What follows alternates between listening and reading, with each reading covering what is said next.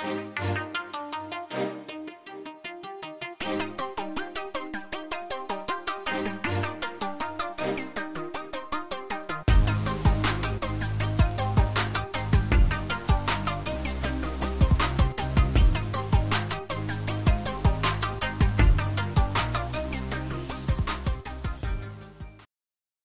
to Season 2, Episode 2 of In Response EDH. I'm your host Albert, and I'm glad you can join us for another awesome gameplay video. On today's episode, we have Jesse returning, and he's trying to make us all miserable again by bringing his partner commander pairing of Ishai and Eligeth.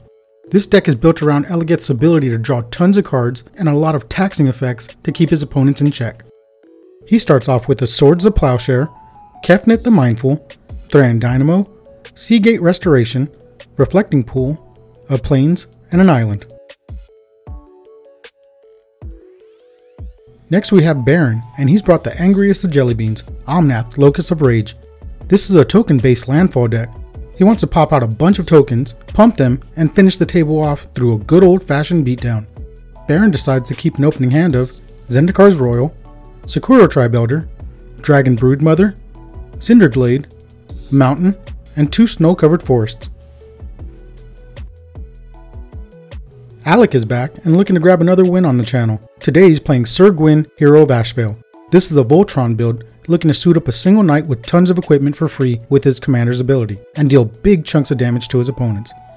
He chooses to start with a Midnight Reaper, Grand Abolisher, Sigarda's Aid, Axgard Armory, Tournament Grounds, Rugged Prairie, and a Sacred Foundry.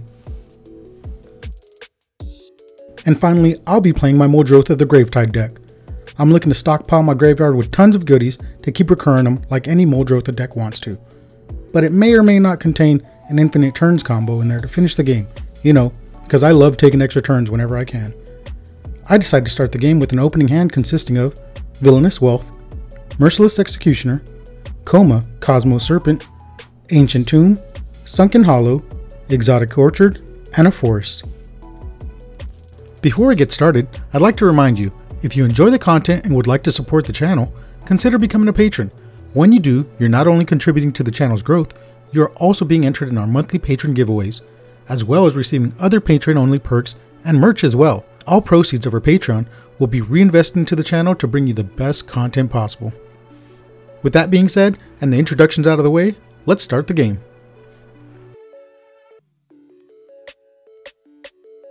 Jesse starts the game by playing a Reflecting Pool that can't tap for mana. I drop a tapped Sunken Hollow and pass. Alec plays a tapped Axgard Armory as his first land and passes. Baron plays a tapped Cinderglade and passes. Jesse starts turn 2 by dropping an island and passing to me. I follow his lead and just play another land and say go. Alec plays a tapped Sacred Foundry as his land drop. He then taps his white mana to cast Sigarda's Aid and passes to Baron. Baron plays a snow covered forest and taps both mana to cast a Sakura Tribe Elder. He immediately sacks it to search up a mountain to the field and passes. You done, Baron? Yeah, I'm good. Sir? All right, here we go. Let's keep it moving. How you doing? Keep it moving. Let's go. Jesse drops a plains on the field and taps out to cast Kefnet the Mindful. I play a Misty Rainforest as my land drop. I just decide to pay one life to crack it and search up a breeding pool and have it come in tapped. Alec starts his turn by playing a Tournament Grounds. He then taps 2 white mana to cast a Grand Abolisher. Baron plays a Forest as his land drop. He then taps 2 mana to cast 3 Visits. He chooses to search up a Stomping Grounds to the battlefield tapped, and passes. Jesse starts turn 4 by playing another Plains as his land drop. He then taps all 4 mana to cast a Thran Dynamo, and ends his turn. I untap and draw. I then play an Exotic Orchard as my land drop. I tap an island and the Exotic Orchard for black, since Alec has a land that taps for black. And I cast a Baleful Strix. As it enters, I draw a card and pass the turn. Alec draws and plays a Rugged Prairie. He then taps 3 mana to cast a Midnight Reaper. After that, he chooses to move to combat and swings the Abolisher at Baron for 2. Baron untaps and draws for turn. He then taps out to cast a Nylea's Intervention, where X equals 3, to search 3 land cards into his hand. He chooses a Dark Depths, Spire Garden, and a Thespian Stage as the 3 lands. Jesse uses this time to tap the Thran Dynamo to cycle Ash Barrens away to search up an island to his hand. Baron then plays the Thespian stage as his land drop and passes. Jesse untaps and draws for turn. He drops the island he searched for. He then taps 4 and floats one colorless to cast one of his commanders, Ishai, Ojutai Dragon Speaker. He then follows that up by casting one of his most played cards, Ley Line of Anticipation. After that, he ships the turn to me. I untap and draw. I play an Ancient Tomb as my land drop. I then tap all 6 mana, taking 2 from the tomb, to cast my commander, Muldrotha the Gravetide.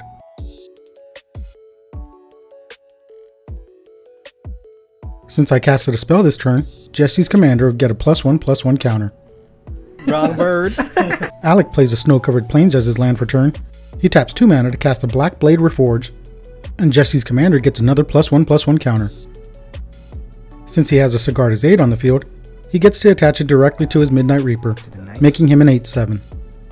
Alec moves to combat and again swings at Baron for 10, dropping him to 28. After that, he ends his turn.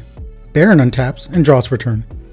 He taps 5 mana to cast Nissa, who shakes the world, which also grows Jesse's commander. Baron upticks Nissa to untap the Thespian stage and make it a 3 3 elemental. He follows that up by playing Dark Depths as his land for turn, and then he decides to pass to Jesse. Jesse untaps and draws for turn. He plays a command beacon as his land drop. Jesse decides to move into combat and swings his commander at Nissa. Before he declares blockers, Baron activates the Thespian stage to make a copy of the Dark Depths, with no ice counters, which lets it transform into Marit Lage. Before he declares blockers, Jesse pays one white mana to cast Swords of Plowshares to exile it. This gains Baron 20 life. Ishai then gets in for damage and drops Nissa down to 2 loyalty. On his second main phase, he taps 6 to cast his second commander, Eligeth, Crossroads Augur, and then ships the turn to me. I untap and draw, and start by playing the Misty Rainforest from my graveyard. I immediately pay 1 life and sack it to search up a Zagoth Triome to the battlefield tapped, followed by casting a Merciless Executioner, growing Ishai again. In response, Jesse taps 1 blue mana to cast Serum Visions, but with Eligeth on the field, he instead draws 3 cards, since his commander replaces the Scry effect. He then chooses to sacrifice his Kefnet. I sacrifice the Executioner, Alec sacrifices his Grand Abolisher, and Baron can't sacrifice anything. Since Alec's Reaper sees the Abolisher die, it deals 1 damage to him, and he draws a card. I follow that up by choosing to cast the Executioner again from the graveyard. Jesse sacks his Ishai, I sack the Executioner again, and Alec sacks his Midnight Reaper. After that, I enter combat and swing Muldrotha at Nissa, finishing her off. On my end step, Alec flashes in a cranial plating and moves to his turn. He untaps, draws, and plays a gemstone cavern, followed by playing an open the armory, allowing him to search up an aura or equipment to his hand. He chooses to grab Swiftfoot boots and puts it into his hand. After that, he passes to Baron. Baron untaps and draws. He then taps out to cast Zendikar's Roil, followed by playing a Spire Garden as his land drop. When it enters the battlefield, the Roil creates a 2 2 elemental creature. Jesse starts turn 7 by casting a Seagate Restoration, drawing him 6 cards and giving him no maximum hand size the rest of the game. He then moves to combat and swings Eligeth that Baron for 5 commander damage. After that, he ends the turn. I start my turn, tapping 7 mana, taking 2 damage from the Ancient Tomb, to cast Koma, Cosmos Serpent. I then play the Misty Rainforest again from my graveyard, paying 1 life to sack it, and find a tapped watery grave and put it onto the field. After that, I move to combat and swing my commander at Alec for 6 commander damage. On my end step, Alec flashes in the Swiftfoot boots. On Alec's upkeep, I make a 3-3 Koma Coil, and he untaps and draws. On his main phase, Alec casts an Armored Sky Hunter. Before he can equip the boots on the Sky Hunter, I sacrifice my coil to tap down the creature. After that, he pays to equip it with the boots and passes the turn. On Baron's upkeep, I make another coil, and he untaps and draws. He then taps out to cast a Regal Behemoth. As it enters, he becomes the Monarch, and decides to play Shatterskull the Hammer Pass as his land for turn, triggering the Zendikar's Roil and creating another 2 2 elemental. After that, he moves to his end step and draws for being the Monarch. Jesse starts his turn by playing an island and paying 4 to cast Smothering Tithe. I then sacrifice a coil to tap down his commander. With nothing else he wants to do on his turn, he just passes to me. I make another coil on my upkeep and don't pay for the Smothering Tithe as I draw. I then attempt to cast a Rhystic Study, but Jesse doesn't like when other people draw cards and counters it with a Render Silent, keeping me from playing any further spells for my turn. After that, I move to combat and swing Muldrotha at Jesse and my Baleful Strix at Baron. In response, Jesse flashes in a Mystic Remora. The damage resolves and I become the Monarch. I then move to my second main phase and play a basic island. On my end step, I draw a card for the Monarch and pay 2 for the tithe tax. Alec takes this time to flash in a Masterwork Ingenuity. As it enters, he has to become a copy of the cranial plating and attaches it to the Sky Hunter. He doesn't feed the fish, and Jesse remembers to draw later on his upkeep. I make another Koma Coil, and Alec draws a card, not paying the tithe tax, letting Jesse create another treasure. Alec plays a Temple of Malice as his land for turn, scrying one and keeping it on top.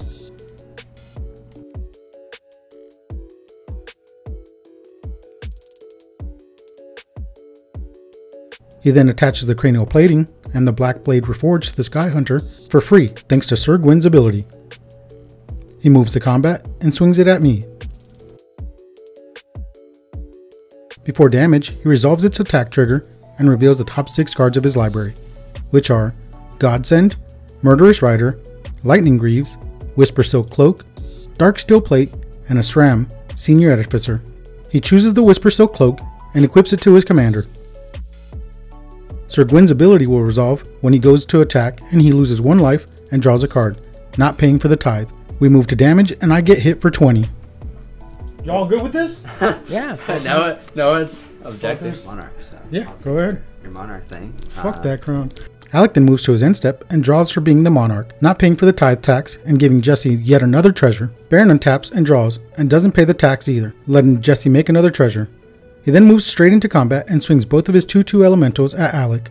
Alec blocks one with his commander but can't block the other, taking 2 damage and losing the crown. Now that Baron is the monarch again, the Regal Behemoth helps him cast Dragon Brood Mother by tapping only 3 lands. He follows that up by paying 2 mana to cast a Great Henge.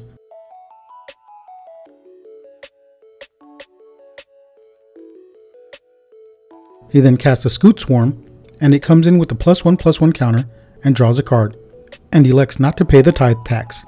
Trigger the Mystic Remora off the Great Henge. Oh, yeah, you can draw a card as well. Yeah. After that, Baron decides to cast a Wheel of Misfortune. We all reveal the number we've chosen. Jesse chooses 0 to keep his hand and the rest of his wheel, giving him 21 treasures, and Baron loses 6 life. You guys could have chosen zero. Oh, uh, draw a card off the Will of Fate. Oh, yeah, you can draw a card. After that, Baron drops a basic force on the field and makes an elemental and a copy of the Scute Swarm. On Baron's end step, Jesse spends some of his treasures, flashing in a Grand Arbiter, Augustine.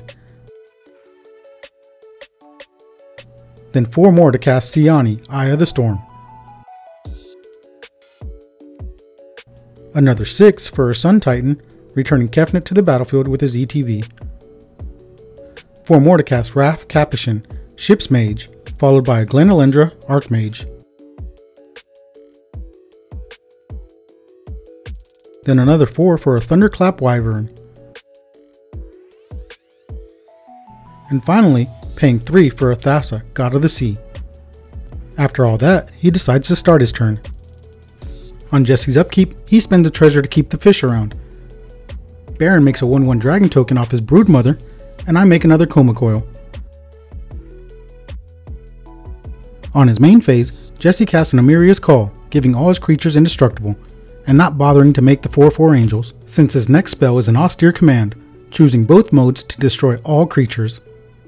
In response, I make a deal with the devil to only sack one coil to save my Koma and not tap down his creatures, as long as he doesn't attack me. He obliges and goes after Baron for 32 damage, and since he attacked with 5 flyers, Siani allows him to scry 5 times. But Eligeth replaces that, and he'll draw 5 cards instead. On his second main phase, he casts a Chrome Mox, imprinting as Mystic Speculation. After that, he draws for becoming the Monarch. I make another coil on my upkeep and draw for turn, not paying for the tithe. I decide to pay 8 to cast my commander and lose 2 life from the Ancient Tomb. After that, I go to play my land, but Jesse said he had a response to Muldrotha. I think, uh, This is not gonna affect You're not you. gonna do It's not gonna anything. affect you. This is not gonna affect you. You're not doing anything this turn, so you're trying to say. Okay. No. One, Why is that not going to affect me? you don't have mana. Here, Yeah. plays a thing that taps your land. And catch, let you cast spells in the graveyard. After that, I pass to Alec and make a Koma Coil on his upkeep. He draws for turn and also refuses to pay his taxes. And Jesse makes another treasure. He then plays a Spectator Seating as his land for turn, and pays 3 to cast Danitha Cap. He uses the rest of his turn to equip the Swiftfoot Boots and the Masterwork of Ingenuity, which is actually a cranial plating.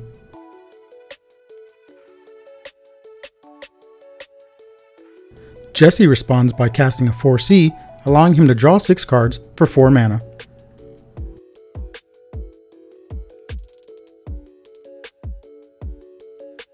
Alec then equips the actual cranial plating to Danitha.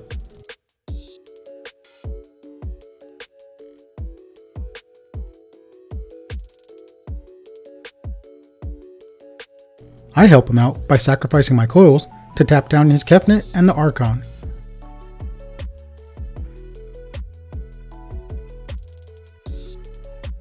He then swings at Jesse, hitting him for 12 damage and becoming the Monarch. He draws a card on his end step and allows Jesse to make another treasure. Baron starts his turn, and safe to say no one cares about paying the tithe tax anymore. He then pays 8 mana to cast his commander, Omnath, Locus of Rage.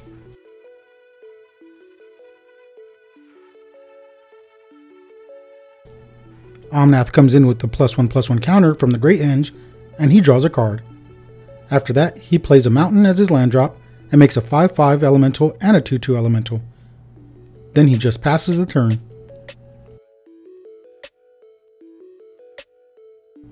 Jesse starts turn 10 scrying 1 with Thassa, but instead draws a card, and then draws for turn.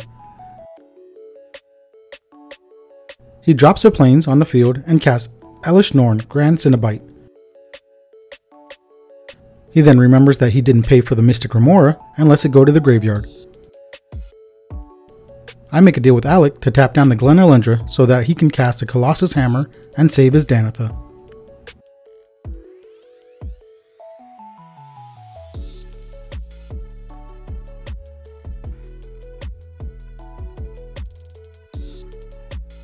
Before Jesse moves to combat, I tap down his Siani. Then we realize an elemental died on Baron's side, and Omnath gets to deal 3 damage to a creature or player. Baron decides to shoot down the Thunderclap Wyvern, and then Jesse moves to his attack step. He swings 9 damage at me and 7 at Baron, taking us both out of the game.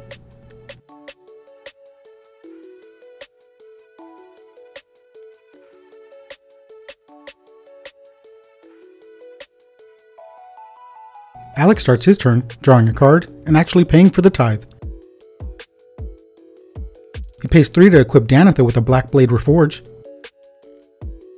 and then another 2 to equip the Whisper Silk Cloak.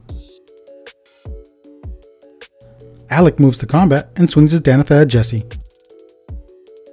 Before damage, Jesse spends his treasure to draw a card with Kefnet's ability. He then flashes in an Archon of Coronation, making him the Monarch as it enters. Since he's the Monarch, damage doesn't cause him to lose life, but Alec does gain the life and regains the crown, but forgets to draw on his end step.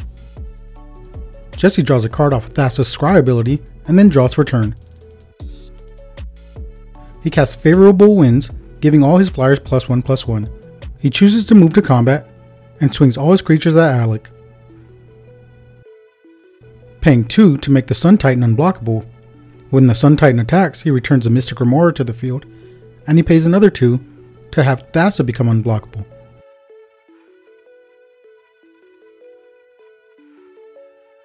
Since Alec can't block, he takes 60 points of damage. Since he attacked with 7 flyers, he draws another 7 cards, forgetting to take the Monarch.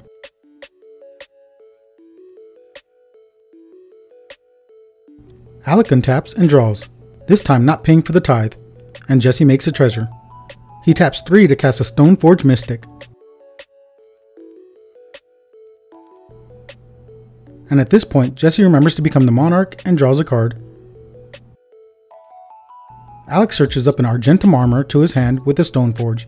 After that, he plays a Swamp for turn. He follows that up by trying to equip the Stoneforge, but Jesse says, hold your horses, he may have an answer. Way too many answers. I.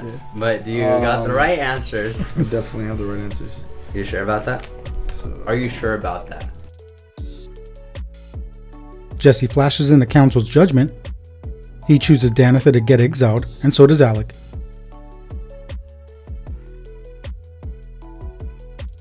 Alec finally equips the boots over to the Stoneforge, and the table finally realizes something. He's gonna die. Wait, this died as soon as it came in. What died? Off the L Storm, this died. Oh shoot! Oh my god, it's a two. It's a one two. Seeing as he no longer has a board or a chance, Alec concedes to Jesse. Congrats to Jesse for nabbing another win. Jesse built some very powerful and impressive decks, and is someone you have to try and stop early on in the game. If not, he will just outvalue you to death. So it didn't help that Baron played a wheel of misfortune and we all chose to draw 7. We practically just handed him the game at that point. The game got a little messy towards the end there, but it was the last game of the night and we were all pretty tired at that point. This really wasn't a good showing for my Muldrotha deck. I didn't have anything going on in this game, besides the Koma, so I was just using the coils to keep myself alive and help Alec take down Jesse. But ultimately, I failed. Jesse keeping me playing one spell a turn with the Render Silent and Archon of Emeria really kept me from being able to do anything to try and deal with him. By the time Baron built up a big enough board state, it was already too late. Jesse had the answer with Emeria's Call and Austere Command. Not to mention exiling the Marit Lage as soon as it hit the board really set Baron back early on in the game. Hopefully we can see Baron and Omnath have a better showing in the future. Alec's deck seemed to be doing exactly what it wanted to do.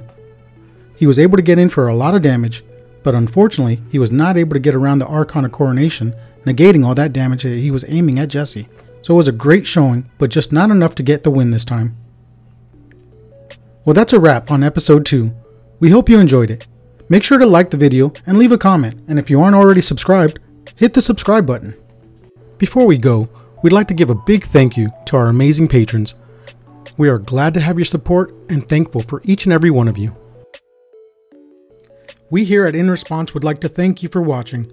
Please make sure to like and subscribe, and make sure you follow us on our social medias. We also stream every Friday night at 7 p.m. Pacific Standard Time. Thank you for watching. Have an awesome day.